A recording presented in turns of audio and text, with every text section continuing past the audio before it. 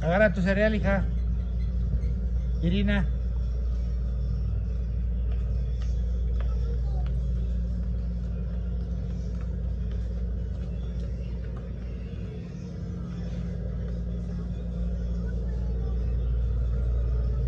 Ya está chiquita para las niñas.